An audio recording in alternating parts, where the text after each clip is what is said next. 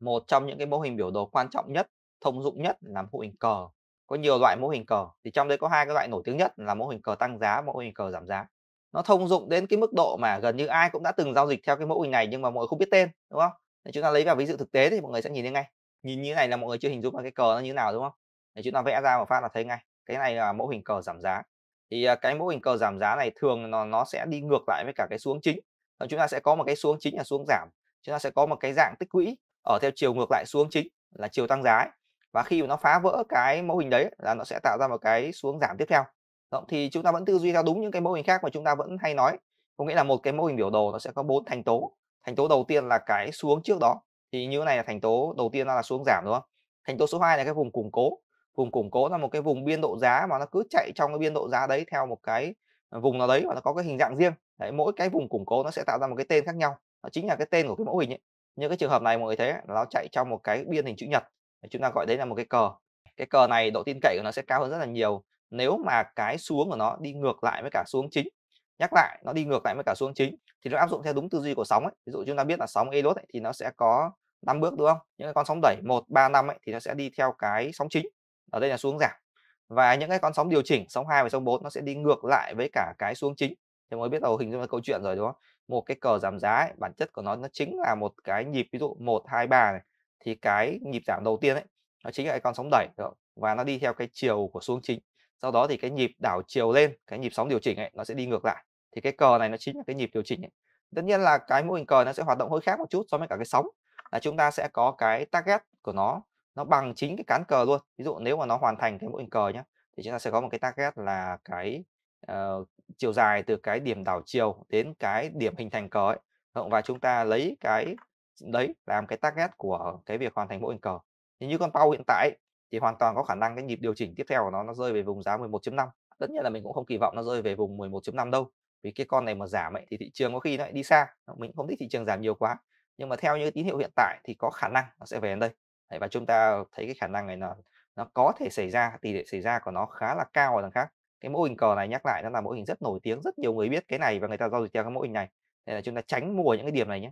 Đặc biệt là khi nó vừa mới gãy ra khỏi cái vùng tích lũy của nó, để mọi người tránh nhé. Hai cái thành tố còn lại của một cái mô hình biểu đồ thì mọi người biết rồi, nó là cái điểm phá vỡ và nó là cái xu hướng sau khi mà điểm phá vỡ được tạo ra. Thì bây giờ nó đã đến cái bước số 3 rồi, nó có điểm phá vỡ rồi, đúng không mặc dù phá vỡ này không phải phá vỡ mạnh, nếu mà nó không phá vỡ mạnh thì nó có thể nó lên, nó test lại một lần nữa của cái xu hướng này này và sau đó nó mới giảm. Tuy nhiên thì cái tỷ lệ xảy ra điểm test tại đấy nó cũng không cao. Tóm lại là như tín hiệu hiện tại thì con bao này là khả năng giảm thêm là cao hơn. Mọi người không nên mua ngay lập tức cho nên đợi thêm. Giai đoạn vừa rồi thì cũng có khá nhiều cổ phiếu nó tạo ra mô hình tương tự như này hoặc là những cổ phiếu nó gần tạo ra mô hình tương tự này chúng ta nên tránh. Ví dụ như con CRE có nhiều người hỏi mình như giờ CRE có nên mua không? Thì con này như cái đoạn này mọi người bắt đầu nhìn thấy mô hình cờ rồi đúng không? Nó có một cái xuống giảm này đấy, nó có một cái nhịp tích lũy hướng lên này và sau đó nó giảm tiếp này đến bây giờ khi mà nó đã giảm rất là nhiều từ đỉnh rồi, nó giảm từ vùng giá 9 giá 10 về đến tận vùng giá 7 rồi, nó vẫn đang tiếp tục tạo thêm một cái cờ mới. Và cái cờ này tình cờ trông nó khá là xấu. Nó cũng đang có một cái cờ nó đi ngược lại với cả xuống giảm. Và như này nhiều khả năng là nó sẽ phá vỡ cái cờ này theo chiều giảm này. Nếu mà nó phá vỡ cái cờ này theo chiều giảm thì thực sự mình cũng không hình dung ra được là cái con này nó giảm được về vùng giá nào nữa. Bây giờ vẽ target ra chắc phải về vùng giá 5 giá 6 mất. Nên thôi chúng ta tránh tham gia những cái thời điểm như này những ai mà kẹp hàng bên trên ấy thì nếu mà không bán thì thôi bạn nên gồng thôi. Chứ bây giờ mua gia tăng thêm bây giờ mua trung bình giá là bạn sẽ lỗ rất nhiều còn những ai mà đang manh nha muốn mua cái con này thì mình khuyên là nên đợi thêm cho những thời điểm mà nó có một cái tín hiệu mua nó hợp lý hơn. Chứ còn cái kiểu tạo ra mẫu hình như này mà nó giảm thủng qua cái vùng tích lũy này là rất là xấu đấy. Không phải là không có những cái cờ tăng giá nó được hình thành thành công như giai đoạn vừa rồi mặc dù mọi người biết là trong giai đoạn thị trường sideways ấy, thì những cái điểm break cái tỷ lệ thành công của nó không cao. Những cái điểm break giai đoạn vừa rồi thành công đa phần là các cổ phiếu hàng bo cung như con NAB chẳng hạn NAB nó cũng tạo ra một cái mẫu hình cờ tăng giá ấy. lúc trước là chúng ta có cờ giảm giá nó đi ngược lại với cả xuống chính đúng không? Xuống chính là giảm thì cái cờ giảm giá nó đi hướng lên. Thì bây giờ chúng ta có cờ tăng giá xuống chính của nó là tăng và chúng ta có cái cờ nó đi hướng xuống. Sau khi nó phá vỡ theo chiều tăng ấy, thì nó sẽ tạo ra một cái xuống tăng. À, thì đây là con hãn hữu rất ít cái trường hợp giai đoạn vừa rồi là break thành công. Thì cái con này thành công và nó đạt đủ cái target của nó luôn. Target của cái này nó cũng chính bằng cái vùng cán cờ luôn Đấy, nó lên đúng vùng này nó bắt đầu nó chững lại này đến bây giờ thì nó lại tích lũy mới rồi.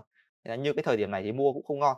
Nhưng mà những ai mà đã mua thành công cái nhịp tích lũy này thì mọi người đã chốt lãi rồi đúng không? Thế thôi bây giờ chúng ta cầm tiền thôi chúng ta đợi mua con khác. Giai đoạn này phải nói thật là cái mô hình cờ nó hoạt động theo cái chiều tiêu cực nhiều hơn.